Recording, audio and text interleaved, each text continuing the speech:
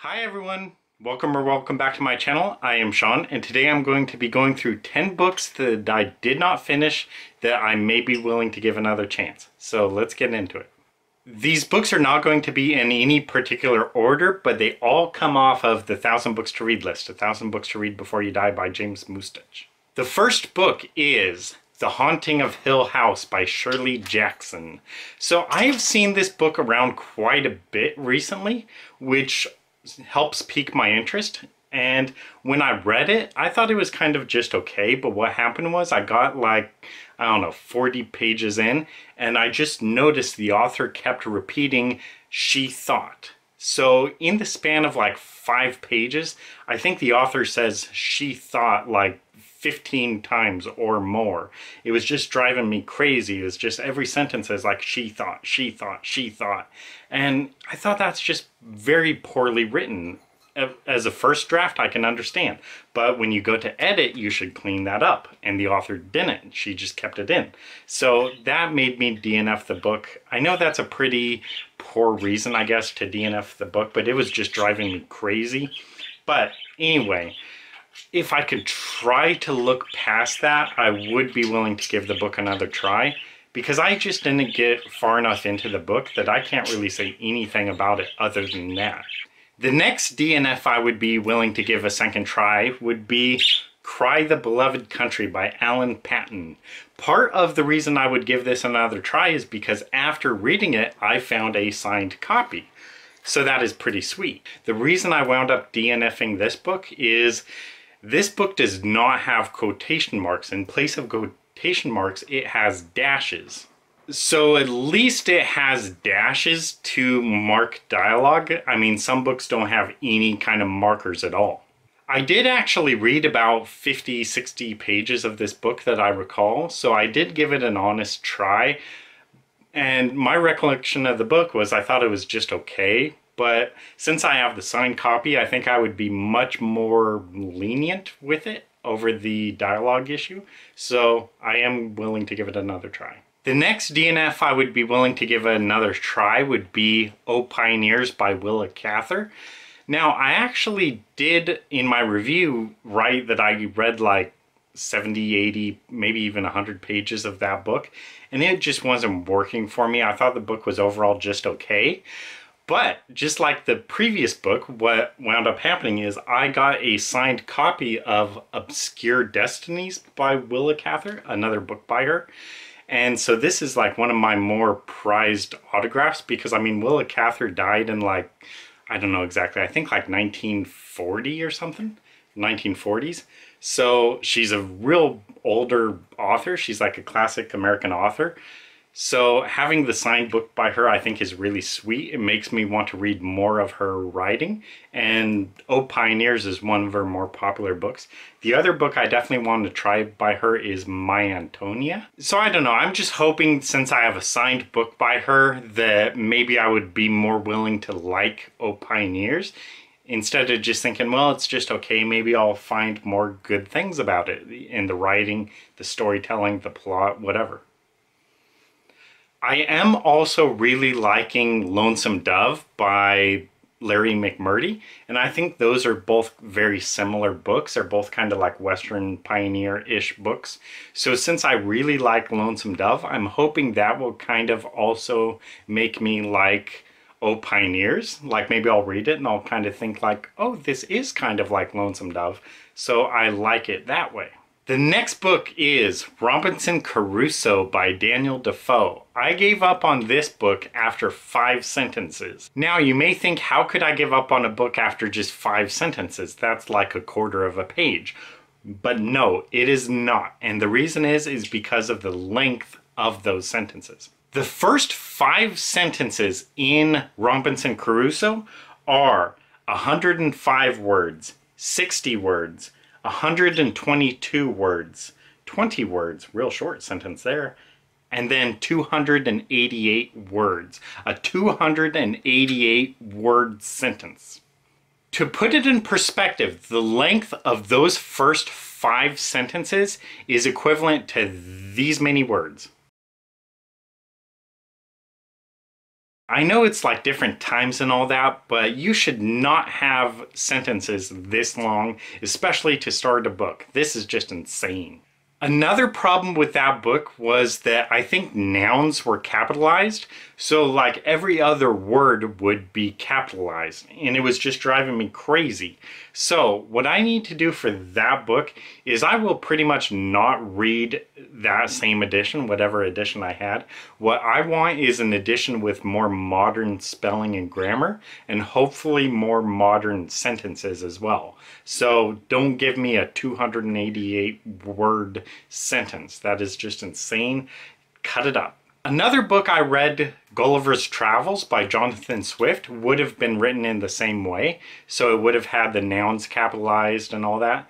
That was just the way they did it back then. But I don't like that. And I know some people may want to be a purist and like read it as original readers read it, but it just drives me crazy. I just can't deal with that with nouns being capitalized.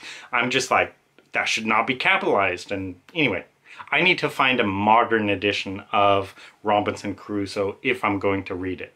Another DNF that I may be willing to give another try would be Things Fall Apart by, I don't know how to pronounce his name, Chinua Achebe? This book, I don't really remember too much about it, except I thought it was just okay. I don't even really have any particular reason why I DNF'd it. It was just an okay book. It wasn't doing anything for me and I would like to give it another try just so I could have a better opinion of it, hopefully. So I could either know if I don't like it, what do I not like about it? And yeah.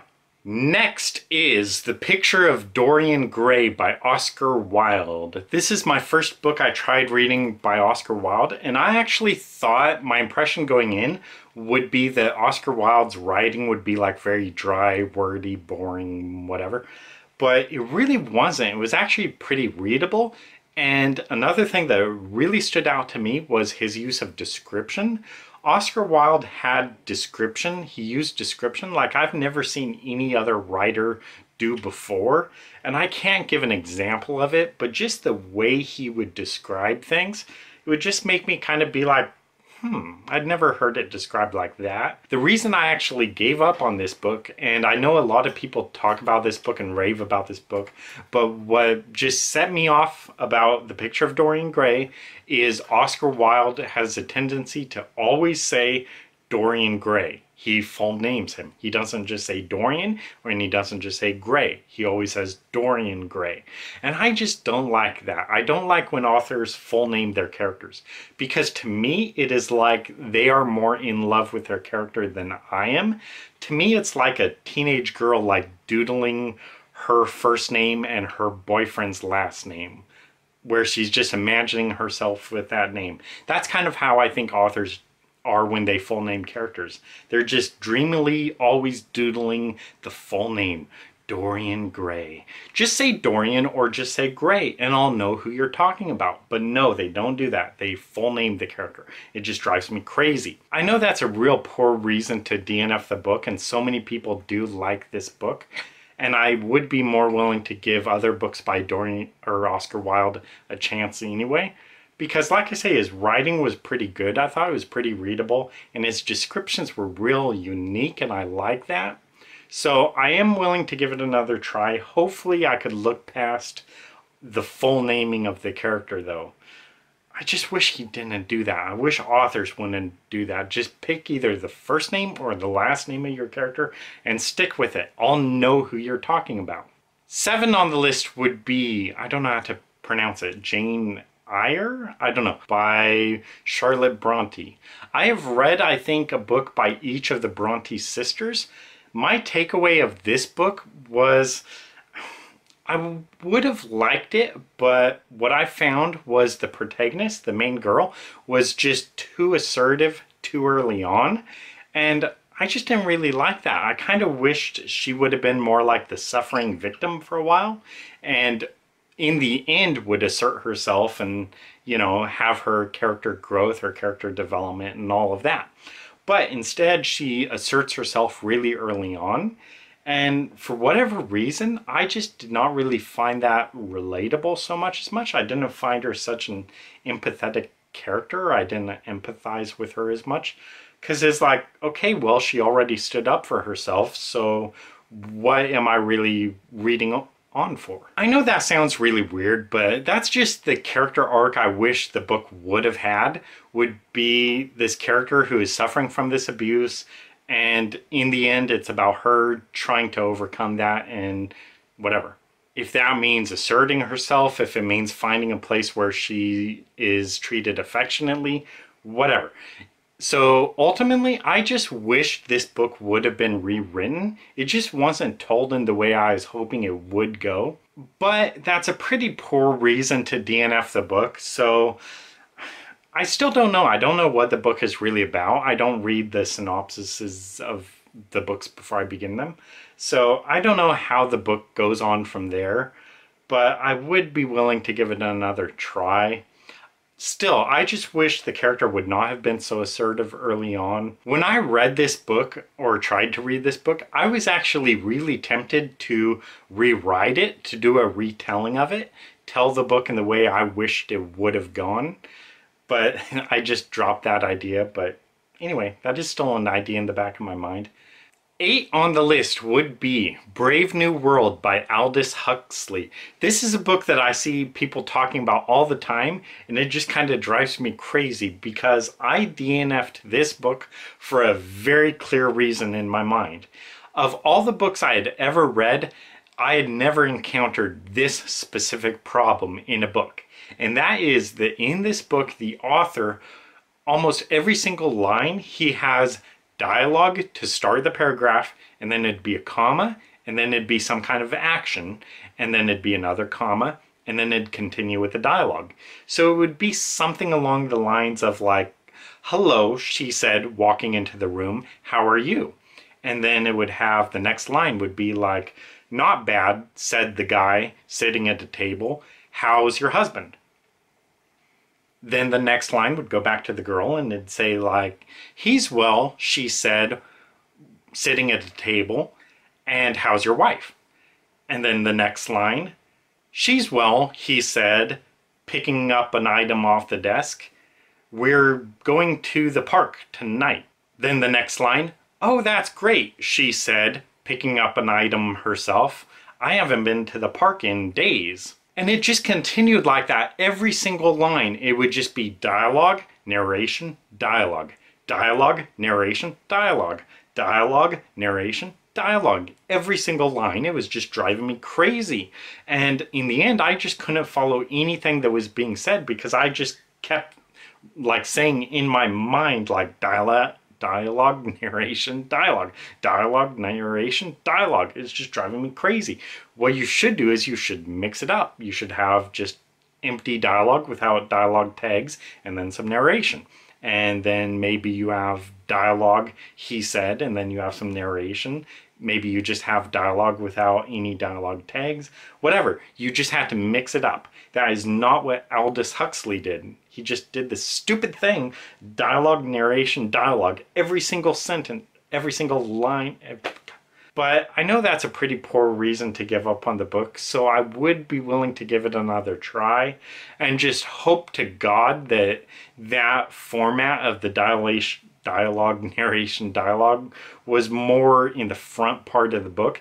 Maybe as the book goes on, he doesn't do that as much. I don't know. I do remember flipping through the rest of the book and like seeing other instances of it.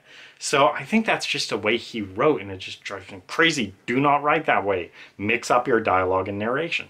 Nine on the list would be Wuthering Heights by Emily Bronte. So this is a book that I had heard about forever and I knew that like a lot of women listed this as like one of their all-time favorite books. So I always kind of thought Wuthering Heights was a romance like Jane Austen-esque. So that was kind of my expectation when I started. And what I remember happening was I would get into the book, I would be reading, and I would come across a line and I would be like, wait, what? Did I read that right? Because it would seem so dark what I read and so I would reread it, and indeed, it was. So, this book was a lot darker than I thought it would be. I was expecting it just to be like some kind of a light-hearted romance. That is not what Wuthering Heights is, I think. So that just, I was completely unexpected. Damn it. I was complete. So I was just completely unexpected for this, and I think that may have been part of why I did not finish this book. So if I go to read it again, I know that this book has some very dark elements to it. I still don't know much about the plot itself. I don't know like the book summary or anything. I just know what I read. So if I do try to reread it again, I'll have a better idea of what to expect. I know this book is pretty dark, so I think I'll be ready for that. However, in my review for the book, what I said was even though the book was very dark, I thought it was just incredibly boring. It was just dry, wordy, boring. It was driving me crazy. And something I actually said in my review is that Jane Austen's books are more entertaining than Wuthering Heights. And that is saying something because I think Jane Austen is like the worst, most boring writer in existence. So apparently, when I read this, I thought Wuthering Heights was even worse. So that makes me very pessimistic about the book, but still, like I said, at least if I do try rereading it, I will be more prepared for the darker parts of it. I will be more curious about what the book is about, why so many people like it, and hopefully I'll be more willing to look past any kind of like dry or wordy parts because there have been other books that I thought were pretty dry, wordy, boring, whatever, like Frankenstein by Mary Shelley. That book was just pretty boring overall, but in the end, I was really glad I read it. And actually, I have a copy of it right here, Wuthering Heights by Emily Bronte. It's a gorgeous book and it's a collector's edition, sort of. That's why I kept it. So I am willing to give it another try. 10 on the list is Midnight's Children by Salman Rushdie. So I started this book and I read two pages and it put me to sleep. It was so boring. Two days later was The Stabbing. A week later, I tried getting into the book again and I read two more pages and same thing. I was just bored to death by it. It was going in one ear and out the other. So I read a grand total of four pages of Midnight's Children before just deciding this book was doing nothing for me and I just DNF'd it. Four pages is definitely not enough to have good judgment of the book. And I would like to give Salman Rushdie's books every chance in the world. I have three signed books by him, and Midnight's Children is one of his more prominent books. So I really should give it another try at some point. I don't know when though, because I know definitely just the way he writes is not appealing to me. I can't really say why. It's just his writing just doesn't do much for me, but I would like to give him a try to try to be patient with it, try to get into it. I don't know when though, because if I try like reading it now, I'll probably just do the same thing. I'll read maybe 10 pages and I'll just be utterly bored by it and DNF it. So at some point down the road, I do plan to give his books a try or if Midnight's Children is just so uniquely written among his books, maybe there's a better book to start out on by Salman Rushdie. I don't know. Because I do have three other books by him. I have On the Ground Beneath Her Feet, The Moor's Last Sigh, and Joseph Anton, which is like his memoirs. So maybe if I try another Salman Rushdie book first, maybe I could kind of get into his style a little bit more. I don't know.